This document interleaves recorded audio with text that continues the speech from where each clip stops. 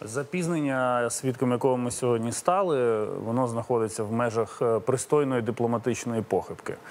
Е, От коли в мінську в 2015 році всю ніч сиділи до ранку, це вже було щось ненормальне, щось таке, що виходить за рамки базових правил.